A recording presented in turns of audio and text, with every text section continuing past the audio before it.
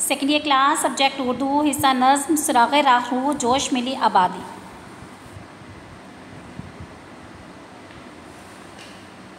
बिसमीम अल्लाम वरहमल वरक अज़ीज़ तलबात क्या हाल है आप सबका?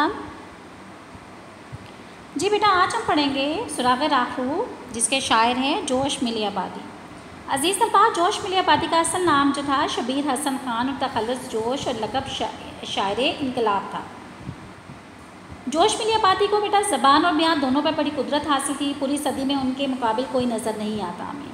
अल्फाज की गन गरज मजामी का तनव कैफ सरमस्ती की जलकियाँ, तशबीहात और इस्तारात की नुदत, लफ्ज़ों की जादूगरी, इनकलाब अंगेज़ ख्याल और नज़रियात उनकी शायर का ख़ास जुज्व हैं। जोश लफ्ज़ों के जादूगर हैं। उनके आगे अल्फाज जो है दस से दस बस्ता खड़े रहते हैं। जिनको मौका महल की मुनासबत से बांधे जाते हैं, पे दर पे अल्फाज इस्तेमाल करते चल जाते हैं। तो इससे हम कहें कि, इसलिए अगर ये हम कहें कि जोश की, को ज़बान बयाँ पर बड़ी कुदरत हासिल है तो बेजाना होगा। उनकी बेटा नज्म जो साम, शामिल नसाब है, वो है सुराग राहरो सुराग का मतलब बेटा होता है निशान या किसी चीज़ हम कहते हैं ना, खोज लगाना। राह रू का मतलब क्या होता है मुसाफिर का खोज, मुसाफिर पे, उस पर रास्ते पे चलने वाला। पहला शेर बेटा इसका है, जहाँ ज़मीन पे रगड़ का निशान हवादीदा है, दलील उसकी है, सांप किस तरफ़ से गुजरा है। हवीदा हवीदा का मतलब होता है ज़ाहिर होना होता है, दलील होता है दलील का मतलब होता है सबूत। अज़ीज़ बात, अगर मफहम देखा जाए तो ज़मीन पर जगह जगह रगड़ का निशान ज़ाहिर करता है कि इस तरफ़ से सांप गुजरा है। इसका मफहम यही होगा ना अब जोश मिली आबादी जो है क्या बेटा, इनको हम इनकलाबी शायर भी कहते हैं। और जोश की शायरी में हमें जो है इनकलाब और बलवकी की कैफियत के साथ साथ हमें जहद मसलसल की का भी दर्स मिलता है। तशरीफ़ तलब शेर में बेटा, जो इस शेर में बात कर रहे हैं कि शायर शाम को तशबी के तौर पर पेश कर रहे हैं। शाम चूँकि ख़ास अंदाज में बल खा, खाता हुआ या रींगते हुए चलता है, इसलिए वह पे पीछे एक लकीर, नमा, निशान छोड़ जाता है।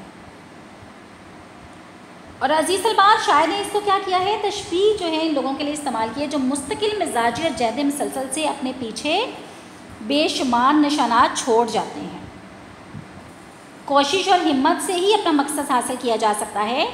तन आसानी और रास्ते की मुश्किल से घबरा कर बैठ जाने वाले कभी मंजिल तक नहीं पहुँच सकते।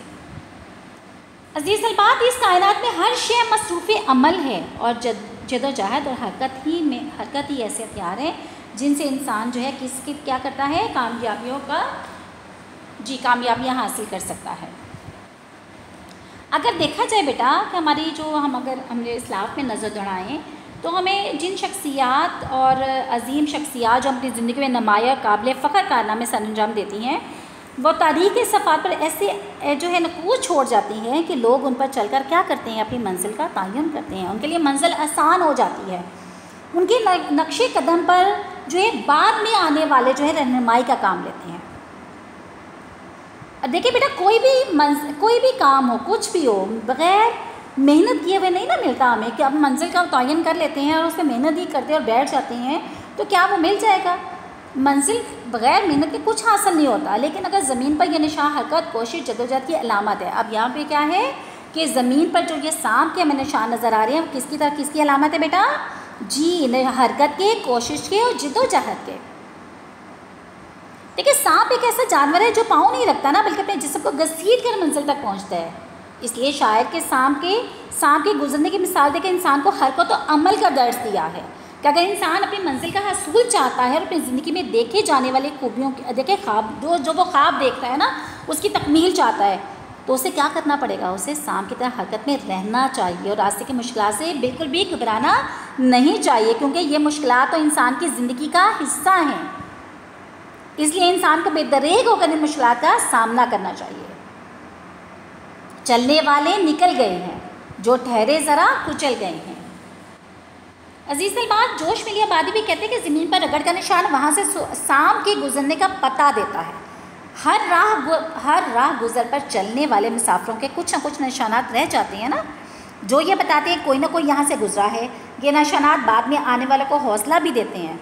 ये कायनात जो है, हरकत और अमल के असूल पर चल रही है, यही यही और देखें, और यहाँ वही कामयाब है, जो कोशिश अमल में मसरूफ़ रहता है। और कदमों के निशान मंजिल का पता देते हैं।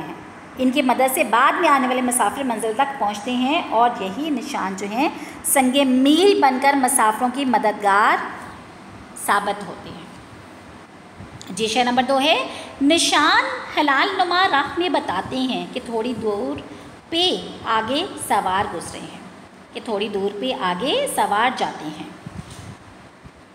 निशान हलाल नुमा बेटा कहते हैं, पहली रात के चाँद की तरह का निशान सवार कहते हैं, घुड़सवार को। यहाँ पे देखिए, इसका मफहम बेटा क्या होगा कि हलाल हलाल नुमा जो निशान है, इस बात की गवाही दे रहे हैं कि थोड़ी दूर आगे सवार जो है, मंजिल की तरफ़ जा रहे हैं। देखिए बेटा, जोश मिले बाद हमने पहले भी कहा कि क्या है, इनकलाबी शायर है ना? और जोश की शायरी में हमें क्या नज़र आता है? विलवला नज़र आता है, जैद मसलसल नज़र आती है अब यहाँ पे शायर जो है, वो कह रहे हैं कि घोड़ों के समों के निशानात को इस तारी के तौर पर इस्तेमाल कर रहे हैं। घोड़े जब दौड़ते हैं तो उनकी बर्फ़ रफ्तारी की वजह से खुर का आगे वाला नाखून ही ज़मीन पर लगता है, जो पहली रात के चाँद नमा होता है। गोया अगर कोई मुसाफिर अपनी मंजिल की जानब तेज़ी से घोड़ा दौड़ाते, दौड़ाए तो घोड़े के सिमों के निशान ज़मीन पर बनते जाते हैं। शायरी इस बात को क्या कहता है? इस तारा एक के तौर पर जो है लोगों के लिए इस्तेमाल किया है, जो मुस्तकिल मिजाजी और जहद मसलसल से अपने पीछे बेशुमार निशाना छोड़ जाते हैं। शायद भी यही बात समझाना चाहते हैं कि घोड़ों के समय के निशाना इस बात की गमाजी करते हैं कि कोई काफिला अपनी मंजिल की तरफ़ जानब रवा दमा है। देखिए, सफ़र इख्तियार करने का दर्ज मिलता है ना हमें यहाँ से कि सफ़र कामयाबी का ज़रिया है। ठीक से मत में किया जाने वाला सफ़र ही मुसाफर की मंजिल का जामिन होता है। अगर कोई मुसाफिर मंजिल पर देखें सतहार जाने वाले लोगों के नक्श पर चल पड़े ना, जैसे कोई आगे चल रहा है, उसके नक्श कदम पर चल पड़े तो वो भी मंजिल मुराद पा लेता है। इसलिए मंजिल को पाने के लिए क्या ज़रूरी है बेटा?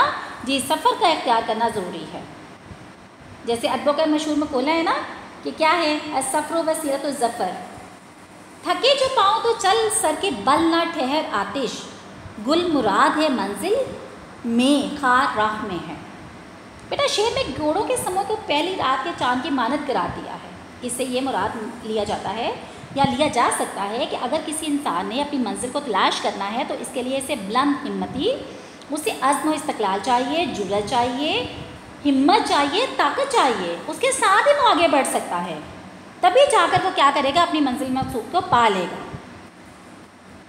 देखिए, अज़ीज़ बात इंसानी ज़िंदगी में हमें थोड़ी सी रहनुमाई अगर मिल जाए ना तो हम अपनी मंजिल तक पहुँचने का हमें ज़रिया बन जाता है। कारवां के निशानात भी रहबरी का वसीला बन जाते हैं, जो, देखिए, जो जोश जो है मंजिल की तलाश में निकलने वाले मुसाफिर से मुखातिब होकर कह रहे हैं ना कि वो पुख्ता इरादे के साथ इन घुड़सवारों की तरह, घुड़सवारों की तरह अपना सफ़र जारी रखें। बिलाकर वो अपनी कामयाबी की मंजिल तलाश कर ही लेगा। किसकी बात हो रही है कि वो मुसाफिर जो क्या करे, अपने आप में मंजिल तक अगर उसे पहुँचना है तो उस घुड़सवार जो पहले गुजरे हैं, अगर उन्हीं के नक्शे कदम पे चलेगा, उनकी रहनमाई में चलेगा, उसमें हिम्मत भी है, उसमें ताकत भी है और उसे रहनमाई भी मिल गई है तो इन वो क्या करेगा, अपनी मंजिल मकसूद को पा लेगा।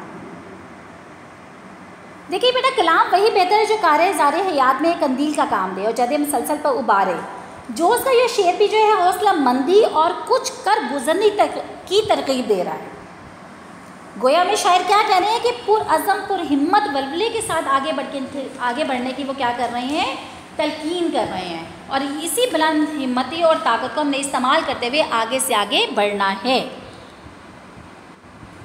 आज हमने इस शेर के, इस नज़म के बेटा सराग रारू के दो अशार किए हैं। इन दो लेक्चर में मज़ीद हम इस नज़म को मुकम्मल करेंगे। अल्लाह ताला हम सबकी अल्लाह ताला हम सबकी हिफाजत फरमाए और अपने हिफ्स मान में रखें।